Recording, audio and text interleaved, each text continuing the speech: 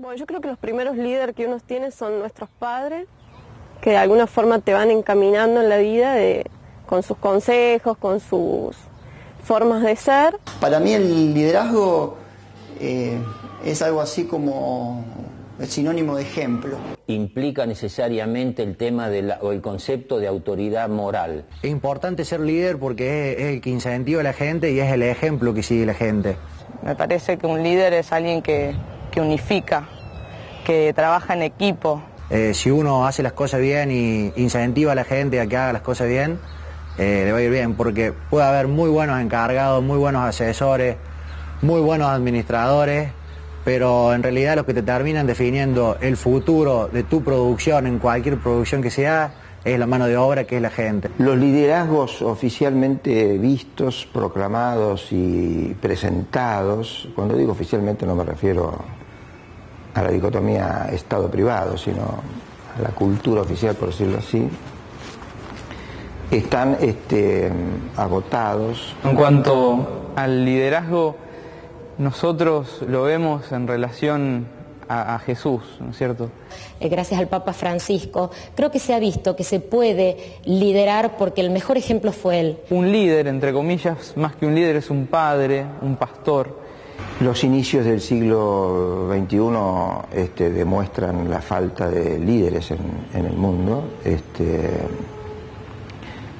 con novedades asombrosas, misteriosamente este, nuevas, pero eh, y hasta prometedoras, pero, pero en un contexto de falta de liderazgo. El liderazgo sale, creo, en, lo personal cuando hay un problema.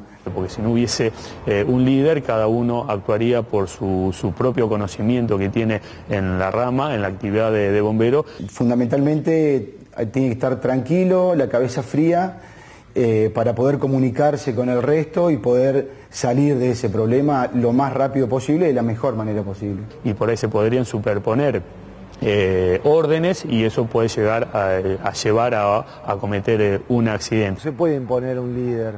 Eh, eso se, se nace un poco, es un poco natural. Hay una cuota que se nace, pero también se crea y se desarrolla. La forma en que nosotros hemos construido el liderazgo local ha sido en equipos de líderes. Eh, con el transcurso del tiempo muchos se van dando cuenta que son líderes porque hay gente que los sigue o porque trabajan en la comunidad. O sea que hemos identificado gente que tenía vocación de servicio, que estaba preocupada por su comunidad, que realmente le interesaba dejar una marca y los hemos juntado y los hemos ayudado a capacitarse y a fortalecerse para realmente poder hacerlo. Se puede liderar porque el mejor ejemplo fue El sinónimo de ejemplo. Falta de liderazgo. Eh, si uno hace las cosas bien y incentiva a la gente a que haga las cosas bien, A, a Jesús. Si no hubiese eh, un líder, cada uno actuaría por su... Un líder, entre comillas, Se van dando cuenta que son líderes. El liderazgo sale, creo, en, en lo personal cuando hay se un puede problema. imponer un líder. Y a fortalecerse para realmente poder Se hacerlo. nace, pero también se crea.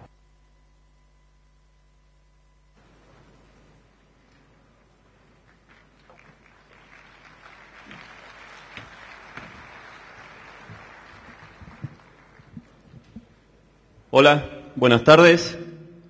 Soy Diego Pons, coordinador de la región oeste Arenoso y líder del proyecto Formación y Desarrollo de Personas de Movimiento. Hay situaciones que nos desafían a asumir nuevos roles en la conducción. Para hablar de, lider- de liderazgo en nuevos escenarios, presentamos al autor del libro Gestionar es hacer que las cosas sucedan, Bernardo Blexmar.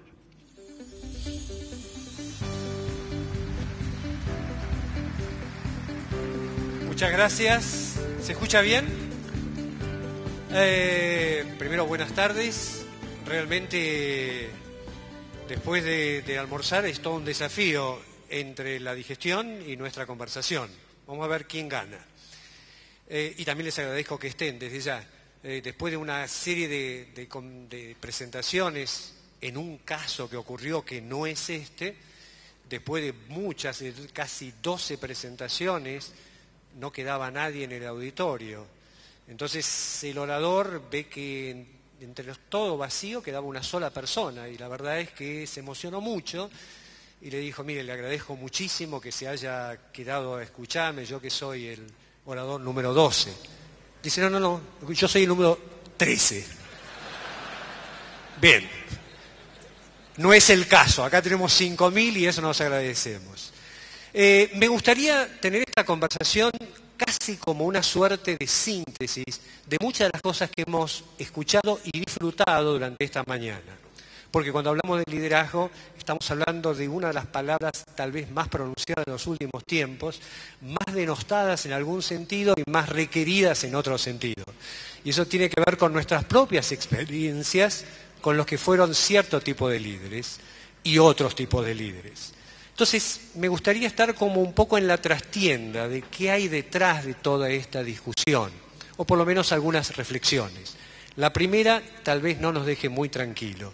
Y digo que no nos deja muy tranquilo porque si hay algo que hemos aprendido en este mundo y en este momento es que tenemos un futuro bastante impredictible, en el sentido en que es curioso, ¿no? En los últimos diez años han ocurrido enormes situaciones de rupturas internacionales, económicas, sociales, y la mayor parte de ellas no han sido pronosticadas ni por expertos, ni por universidades, ni por centros de excelencia.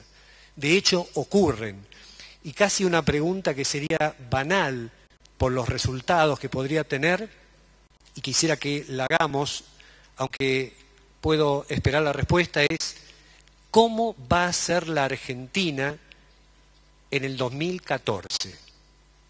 2014 es acá nomás, y yo creo que nadie puede pronosticar algo muy concreto. Y es increíble porque tenemos que trabajar pensando en el futuro y es un futuro bastante difícil. Y esto también que hemos aprendido es que hay complejidad de situaciones, tensiones, situaciones que no son solo racionales. Y tal vez uno de los primeros desafíos que tenemos es que hoy somos hereditarios de una formación básicamente racional. Suponemos que hay causas, que hay consecuencias y que nos tranquiliza bastante que haya buenos y malos, como si esta cosa fuera totalmente de una manera o de la otra. Tal vez por eso quisiera desafiar inclusive la característica de lo que hemos conversado sobre lo humano. ¿Lo humano es bueno o lo humano integra la totalidad de nuestras grandezas y de nuestras miserias?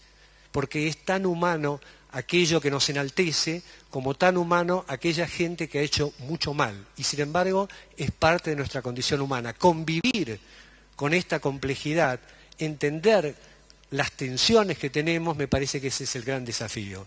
Ojalá hubiera, como en algunos momentos, eh, en las películas, los buenos y los malos. Y los buenos son totalmente buenos y los malos son totalmente malos. La cosa es más compleja.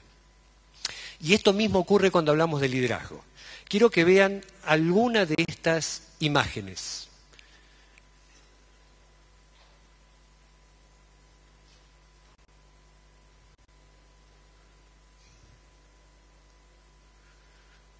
Llama la atención algunas, ¿no? Tenemos otra. Es interesante, ¿no? Porque en ese lugar hay una diversidad de personas y ahora quiero decir algo probablemente en un nivel todas estas personas han liderado y lideran. Han liderado y lideran. Porque la condición primaria del liderazgo tiene que ver con lo que llamamos hacerse cargo frente a un desafío determinado. Hacerse cargo tiene mucho que ver con lo que ocurre, me implica y estoy adentro de la situación nuestra larga tradición de poner afuera las dificultades no convive con esta idea. Quienes lideran se hacen cargo, cuentan una historia determinada acerca del escenario que les toca vivir, esa historia prende en un grupo determinado, grande o chico, gestionan sobre esa historia, generan ciertos resultados y acá no hay diferencia, curiosamente, en esta condición primaria del liderazgo a nivel de valores. ¿Dónde hay una diferencia? La diferencia está en que primero la condición primaria tiene que ver con la construcción de un poder. También el poder es una palabra necesaria y también curiosa para discutir. Tendemos a pensar el poder como algo que está en el orden de lo ominoso. Sin embargo, para hacer algo hay que poder hacer algo. Hay un viejo dicho que dice, querer es poder. Bueno, yo quisiera muchas cosas, pero aparentemente no puedo. Por lo tanto, tengo que construir poder. El liderazgo construye poder. ¿Dónde hacemos la diferencia? En una segunda condición. Acá sí podemos dividir entre diseo, gaiviría y el resto. Porque lo que los diferencia no es el poder, sino el poder para qué. Y ahí están los valores.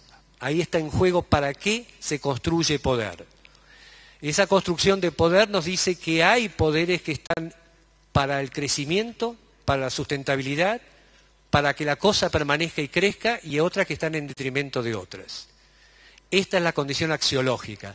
Ahí está donde está el juego, el sueño, los valores a conseguir. Se dice que muchas veces hay liderazgos paradigmáticos y épicos. Aquellos épicos son los que nos ven, los que vemos a alguien que es como nosotros, pero nos mantiene en el estándar. El Papa Francisco pone un estándar diferente.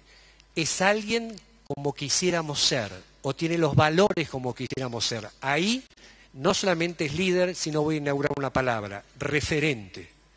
Necesitamos liderazgo, pero también referentes, gente en los cuales espejarnos ciertas cosas que tienen que ver con lo que queremos lograr. Y estos referentes y estos liderazgos generalmente nos muestran un camino con una tensión entre lo que tenemos y lo que quisiéramos. Lo llamamos sueño, lo llamamos visión. Vinicio de Morales decía de ese hombre que no necesita dormir para soñar ¿Cómo es eso? Vean lo práctico nada más.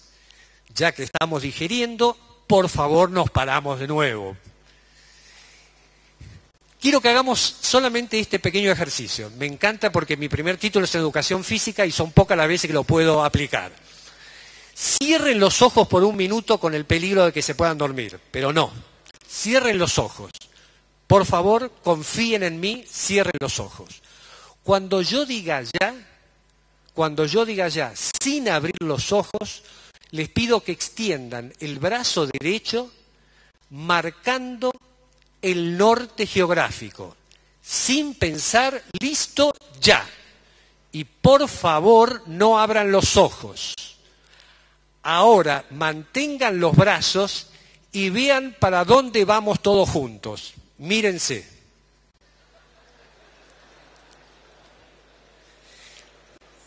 parece que no estamos en la misma visión. Yo tengo un amigo cordobés que me dijo, el norte está para allá. Por lo tanto, quiero que recuerden la imagen de lo que mostraban con los brazos antes y cuando todos íbamos para cualquier lado. Y marquen todos para el mismo lado, supongamos para allá. Y quiero que vean esa imagen, porque tal vez es la imagen que de algún modo nos junta a todos en torno a ese sueño común y visión. Es eso la visión, ese es el sueño. Muchas gracias. Ahora, ¿desde dónde lo planteamos? ¿Desde dónde lo planteamos? Vamos un poquito a la trastienda. Tercer condición, la condición secundaria del liderazgo. Acá es cómo abordamos desde lo axiológico, desde los valores, la forma. Y hay muchas formas. Personalmente coincido enormemente con lo que se ha planteado esta mañana, pero hay muchas formas, estilos, particularidades. Y un solo dato que a mí me parece importante. Hagan lo mejor de acuerdo a su propio estilo. No hay nadie a quien imitar que uno no incluya en su propio yo honrense en su propia elección. El peor, la peor de las técnicas es imitar la que no es mía. Y si no, prueben con el chiste. Hay gente que los chistes les salen graciosísimos. Yo los cuento y no se ríe nadie, especialmente mis hijos. Eh, por lo tanto, vale la pena saber que hay estilos. Ahora, ¿desde dónde construimos poder hoy? Poder duro. Se construye, lo decíamos desde el cargo. El solo hecho de tener un cargo genera un poder determinado. Eh, Alejandro hacía esta diferencia entre el gerente, el administrador, el gestor y el líder, es cierto, pero el cargo incluye la fuerza o la amenaza de su utilización. Eh, ¿Se acuerdan que Paula hablaba de este tema de verticalidad, de control? Obviamente, si hay algo que ha caído hoy, es el cargo como única respuesta de poder y de construcción de liderazgo. Pero no es en la organización. Recuerden cuando uno iba al médico y lo atendía y le decía lo que tenía que hacer y uno iba a la casa y hacía lo que decía el médico. Ahora uno va al médico, le dice lo que tiene que hacer, entra en internet y evalúa si lo que le dijo está bien o está mal y tiene cinco o seis posibilidades y le discute al médico. Pero le discute al médico, le discute al director de la escuela, le discute al maestro, le discute al gerente, porque de hecho lo que ha caído y declinado es el cargo como fuente de poder. Buena noticia y mala noticia. Vamos a ver por qué. ¿Hacia dónde nos estamos deslizando? Hacia el poder difuso, la posesión de valores escasos. Quien tiene un valor, conocimiento, conversación, escucha, que otros no tienen, genera un lugar de poder. Y la último, la seducción, hacerse un lugar en el otro. ¿De dónde depende esto? De una dimensión que queremos plantear el actor, el sujeto y el observador. Hemos sido formados para ser actores, es decir, lo que tenemos que hacer.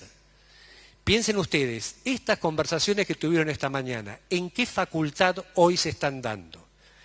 ¿A qué ingeniero agrónomo le enseñaron a trabajar en equipo en la universidad? ¿A qué médico le enseñaron a tener relación paciente? ¿A quién nos enseñaron a escuchar, a tener inteligencia emocional? Curioso, formamos al actor, pero nos olvidamos del sujeto. Y el observador es nuestra cuota de humildad, que nos dice que vemos solo teñidos por quiénes somos y qué hacemos. Y por lo tanto somos parciales y sesgados. Si hay una sola explicación de por qué hay que trabajar en equipo, es porque todos vemos parcial y sesgado. Y podemos ver otras cosas con otros que la ven distinta. Ahí está el tema de la diversidad. Eh, antes el actor estaba por delante, el sujeto por detrás. ¿Qué es lo que está ocurriendo ahora? El sujeto está siendo cada vez más importante. Síntesis, uno no respeta al gerente, al médico, por el cargo, sino por quién es la persona que está detrás. Y cambia notoriamente un país, una organización, un grupo, por quién es la persona que lidera y no solo por el cargo que ocupa.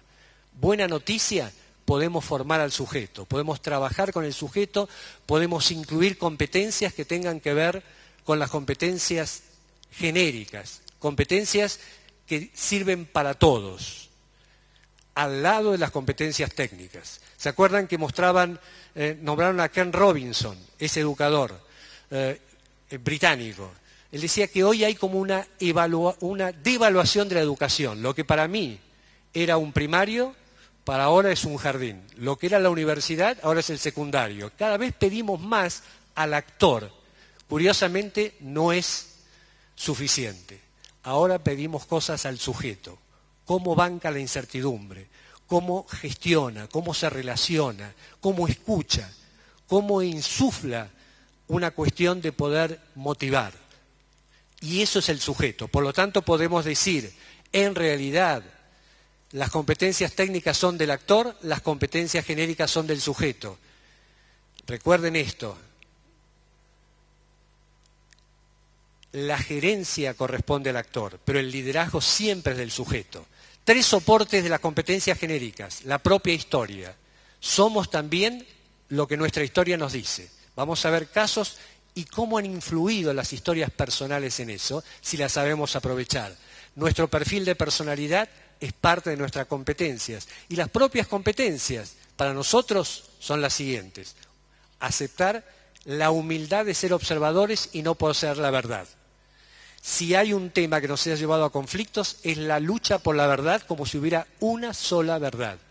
La mayor parte de nuestros conflictos es por quién tiene la razón. La pregunta, ¿hay una sola razón? La competencia comunicativa.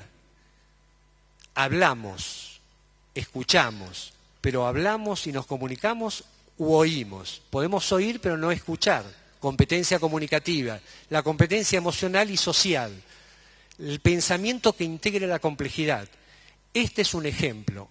ACREA, que está vinculada al negocio agropecuario, abre la ventana y ve otras realidades para integrarlas a su lugar.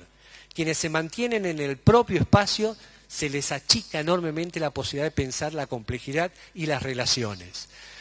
Y por supuesto, como decía de algún modo eh, Axel, el aprender a aprender.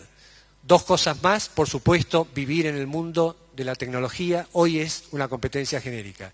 Dos que le agrego, salud y amplitud cultural. Quienes hoy lideran son también cuerpo. Hemos aprendido en la escuela que el cuerpo es eso que acompaña a la cabeza para ir a dar un examen. Es algo más. Cuerpo es también salud. El sujeto que se enferma, que no duerme, todo lo que escucharon,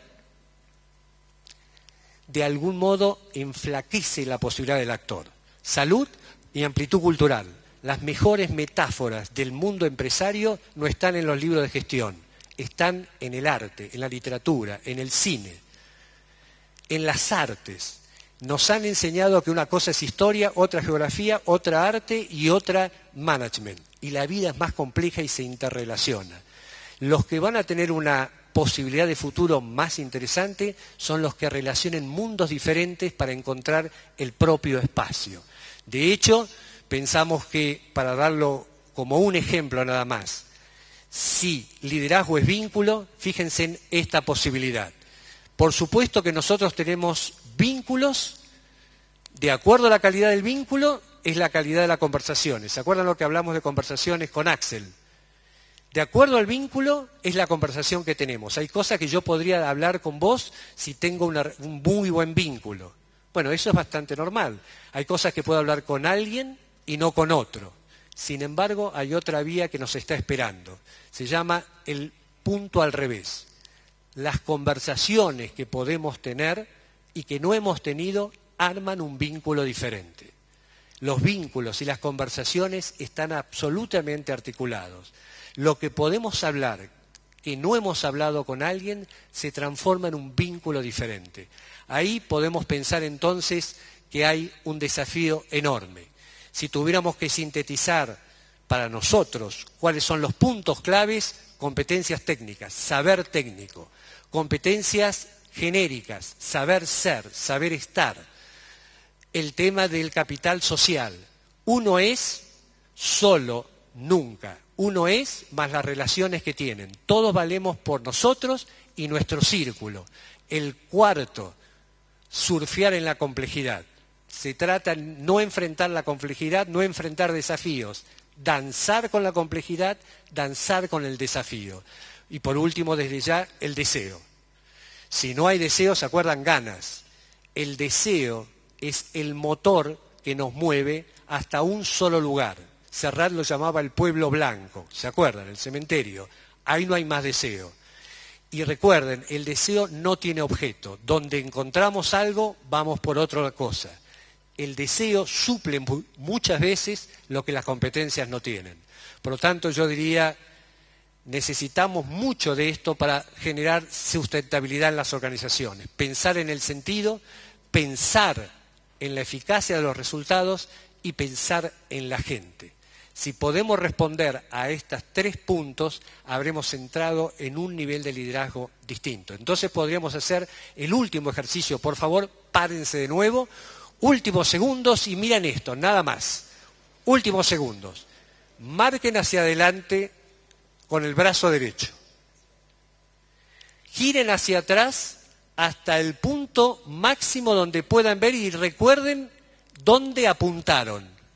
Por favor, recuerden dónde apuntaron, eh, o encuentren ese punto y vuelvan nuevamente hacia adelante. ¿Recuerdan dónde estaban apuntando? Bien, ahora hagan esto. Así, cuerpo, un poquito de elongación. Vamos, no hay, no hay problema. Levanto, marco. Y ahora vean hasta dónde llegan, por favor. Esa brecha es entre lo que tenemos y la visión de lo que podemos lograr. Muchísimas gracias.